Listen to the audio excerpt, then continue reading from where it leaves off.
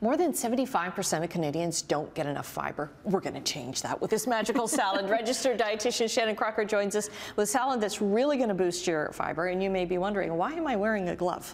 Well, there's going to be some massaging of kale some coming massaging, up. yes. right. So three quarters of us don't get enough fiber. We need it for optimal health. It's great for gut health, for digestive health, mm -hmm. heart health, uh, brain health. It's good to help to manage blood sugars.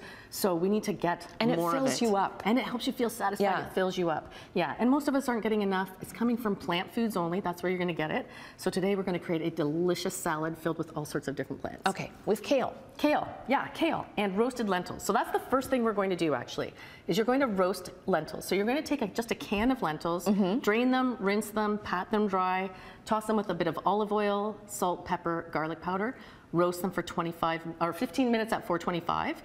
And what's going to happen is the texture is going to change. They're going to become a little more crispy, a little more chewy. Okay. See, I'm going to try this because I like lentils, but the texture sometimes is like not me too. Yeah. Same. Yeah. Okay. So that's so this is the way that I do them and I love them. And it doesn't change the nutritional value. No, the nutritional value is great, still packed with protein okay. and really rich in fiber. And very, very affordable. And very affordable, yeah. budget friendly for sure. Okay. Um, so then we're going to, while that's, that's cooking, we're going to do our kale. So we're going to start off with about four cups of chopped kale. Okay. You can use whatever kind of kale you like. Wait, don't massage oh, quite oh, yet. Oh, jump in the gun. Jump too early.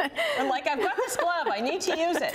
We're actually going to put on two tablespoons of the vinaigrette. Now this is a tangy maple vinaigrette, just a hint of sweetness from the maple syrup. And I'm not going to lie, this vinaigrette was the reason I asked her to do the salad because I had a choice between a dessert or this, and I'm like, I saw the recipe for the vinaigrette, and I'm like, oh, it's got maple salad. syrup it's in it. It's so good. It's so good. Yeah. So you, now you're going to massage it. So you're going to go in, you're going to scrunch it up. This is and going really to scrunch it. Really scrunch it. This is going to help to soften up the kale so that it's not um, tough when you when you eat it. So okay. it's going to soften it up a little bit. It's also going to help to take out the bitterness a little bit. So some people find kale a little bit bitter, okay. but this is going to help to take out some of that. And why would you use kale in this recipe instead of like say a romaine lettuce or right. any other green? Well, it's very hardy. With the rest of the ingredients, it holds up really well. Okay. Yeah. Look, so there you go. It's going all over the place, but that's okay. That's I think that's good. So you're going to do okay. it for about a minute. and then we're going to add on the rest of the ingredients. So first up, we're going to add on pear. Okay. Now, pear is one of the uh, fruits that's richest in just fiber. Dump. Just dump it all over the place. Yeah, we're going to toss it oh, together, so it's okay. okay. It's in. That's good. it's in. um, so it's got about six grams of fiber per pear. Makes a great snack. Okay. All right, then we'll add in some coarsely grated carrot. And if you didn't want to use carrot, you could use roasted sweet potato if you have a little bit more time. But I love the like bright color that this provides. Mm -hmm. Then we're going to add in peas.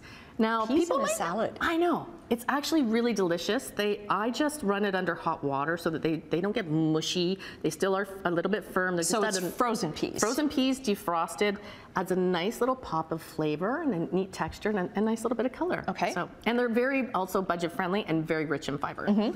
Next up, we're going to add on some cheese. Okay. Now this is old cheddar cheese. That's going to actually work really well with all the flavors here. And this is the only thing in the salad that doesn't have fiber because fiber is only found in plant foods. Okay. But it's going to add deliciousness. We've got less than a minute left. Okay, we're going to add on the almonds. All now, of this? Slivered almonds, yeah. So we're going to add on some toasted slivered almonds. Also, nuts and seeds have fiber. And some dried cranberry. We'll just shake that on there. This could be a meal. This is absolutely a meal. Okay. Yeah, this would serve four people as a meal, or you can take it to a potluck. So I'm just going to oh. drizzle on the rest of the dressing, and, and then it holds, can... right? It doesn't go absolutely. wilted or anything like and that. You can give this a toss in that if you okay. want. Okay. This is. Oh my gosh, we forgot the lentils. Oh, the lentils. Okay. okay and as I'm doing this, yeah. yeah. all of that. There so you a whole go. can in there. Okay. A whole can. Yeah. So absolutely. as I'm doing this, we'll get the uh, the recipe up on our website, chch.com, and of course we'll get all your socials up there because you're testing Perfect. a whole bunch of different recipes and I cannot wait to have this for lunch. It smells so good. Thank you. you. Smell it smells yeah. so good. I think you're going to love this okay. one. Okay. Thanks so much, Shannon. My pleasure.